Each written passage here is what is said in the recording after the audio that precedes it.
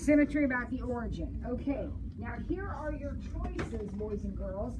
You can draw it, which that's going to be a pain in the butt, I'll just tell you right now, but you can draw it if you want and see, is it symmetric about the origin? Or you can go back to the video you were all supposed to watch in which the tests of symmetry were discussed. Hmm. Anybody know what I'm talking about? The tests of symmetry? Listed them. There are four. And I went through those tests.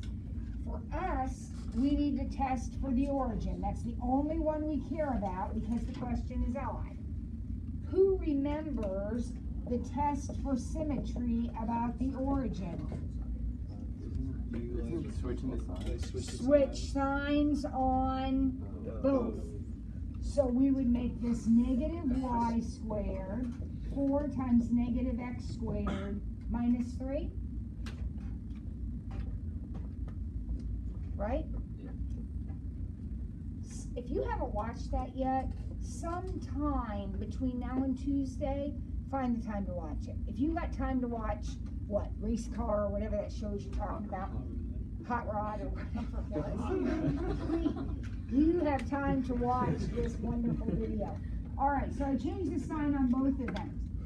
All right, so what happens? I get um, y squared, 4x squared minus 3, because don't the negatives square out in both cases? Now notice, look at what, I, I switched the signs on both variables, and what happened? I ended up with exactly what I started with. When you end up with exactly what you started with after you've done your test, then you have symmetry. So the answer to this question is yes. And why? Because I did my test of symmetry about the origin and we passed. So if it's, so if it, if it's the same as odd, No, if it, it to have any symmetry, it what you get has to match the original. It's odd because I did the odd test. I changed the signs on both. Other tests you do different things for, right? Watch the video. Each test has its own little thing you do. All right, identify with words or an equation. What is number two?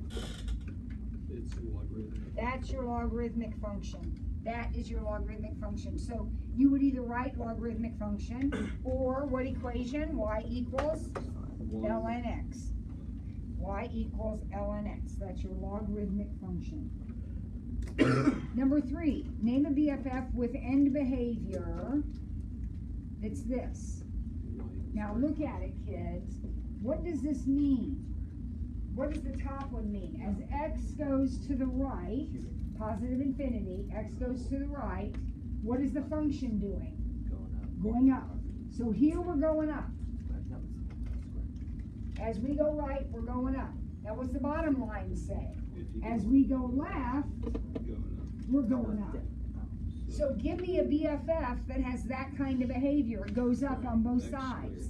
X squared. Absolute value, those are the two ones I can think of right off the top of my head, there might be others. But you see what I mean? X squared and absolute value, both go up on both sides. Now, we had a quiz over this before, your equation is this, and your job is to find as, oh, go ahead, find asymptotes and so I've already started, I factored a two out of the bottom. How does the top factor? Shmoney, how's the top factor? Uh, X, uh, minus five, plus one. Yep, perfect. And of course, everybody knows x squared minus one is plus one minus one. What happens? We cancel, which simply means we're going to have a hole. Not everything is going to have a hole. Right? You're only gonna have a hole if you can cancel. Where will the hole be? Where x is negative one, and why is the hole at x equals negative one? Because. Because that's the factor that I canceled.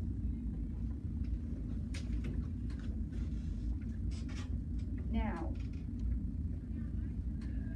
how do I get the y coordinate? You plug it in, plug it. Plug in negative one, so plugging in and plug it in here. So that gives me negative six on the top, and two times negative two on the bottom, which is three halves. So I have a hole at negative one, comma, three halves.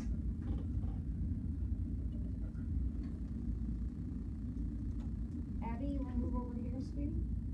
You okay? Alright. Alright, how about asymptotes? Look right here, does this guy have any asymptotes? Mm-hmm. Where? Yes is the right answer, but let's be more specific. Where are the asymptotes? Horizontal. I have a horizontal at y equals what? One half. One half. You can go back to the beginning if you want to, or you can just look right here. Your horizontal is y equals one half. What are the rules for horizontal asymptotes? If the powers match, you just make that fraction. If the one on the bottom is bigger, the asymptote's at zero. If the one on top is bigger, of the power, if the power on top is bigger, then we don't have one. How about vertical asymptote? Do we have any verticals? Where? Well, x minus one is not an a, is not an equation. What's the equation for the vertical asymptote? x equals one.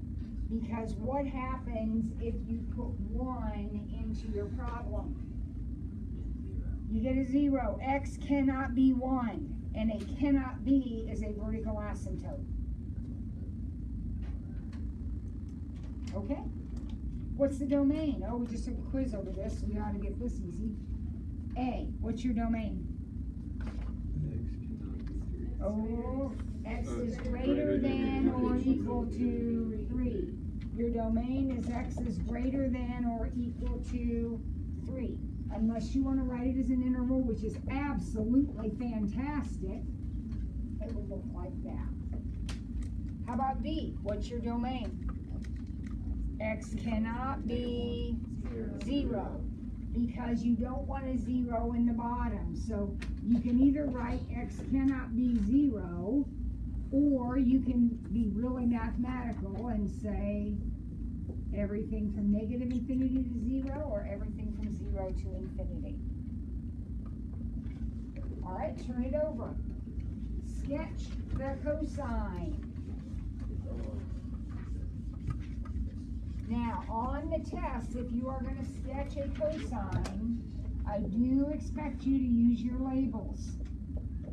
Okay, I haven't emphasized that up, na- up till now because you have a lot to memorize. But I want you to do your labels. So we went through them on your BFF sheet. So if you've forgotten them, you'll wanna go back and study your sheet to get these labels.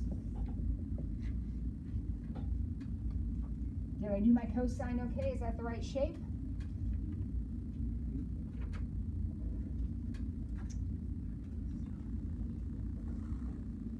What's the domain? All real numbers. Goes on forever and ever. No breaks, no asymptotes, no nothing. How about range? What's your range? From one to negative one. Negative one to one? And would that be negative one to one like this or negative one to one like this? Bracket. The brackets, absolutely, this is my range, right there, that's my range. Uh, we kind of already talked about B before we took the quiz, what does it look like? It's an absolute value facing first. It's an V absolute facing value, down. V. And it's turned upside down. Because when you put a negative in front of the function, it turns it upside down.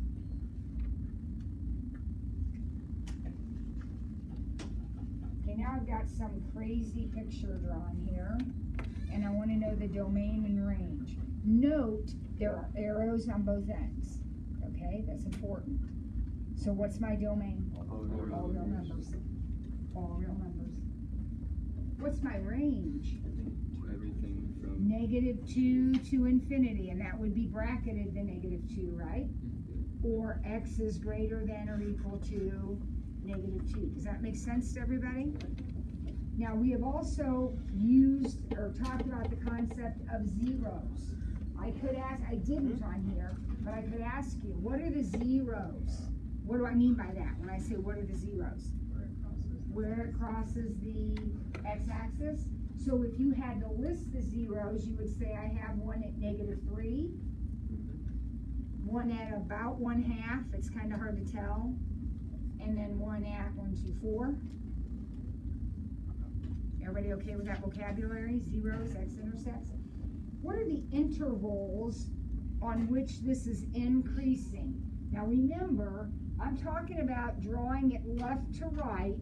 Where is my pencil going up? And I'm going left to right, so I'm looking at x values. Which x values, as I go left to right, is my pencil going up? Negative Negative three, three to negative negative one. And we never, when we talk about increasing, we don't include those endpoints because at the point negative three, it's where a decrease is meeting an increase, right? So there's, you can't call that point either one. All right, is there any other part of the curve that's increasing from three to infinity?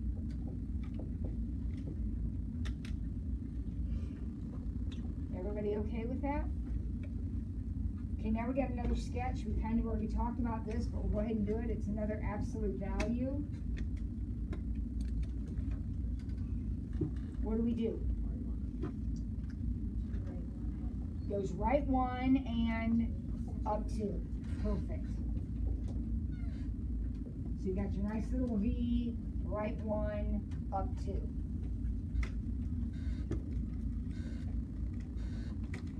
And then we have another symmetry question.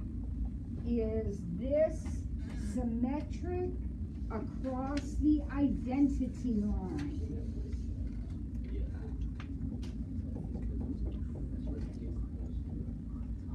And we want to test it for symmetry about the identity line, across the identity line.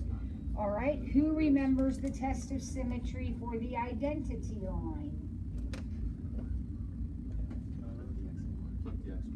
Yes, indeed you do. You didn't say it? You just knew it? That's a lie. I don't know what's going on back there. He's right. You switch the x and the y. So when I do that, I'll have x equals negative y plus four. Now, what do I need to do? This is what I was talking to Braden about a minute ago. What do I need to do? I need to see if it matches the original. So I'm gonna rearrange some things here. This is my switch. So I'm gonna move the y over. It says y plus x equals four and y equals negative x plus four. Does that match the original? Yes. So therefore, the answer to the question is yes. And the why is, I did the test of symmetry and it worked.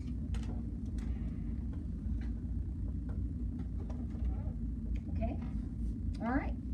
Good, good, good, good. Let me put that away now. Don't need that anymore. Fun while it lasted.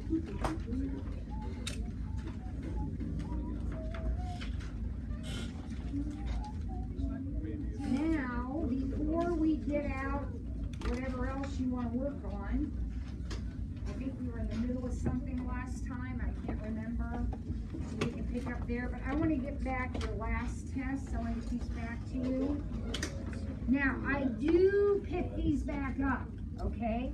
I do recollect these, so do not stick it away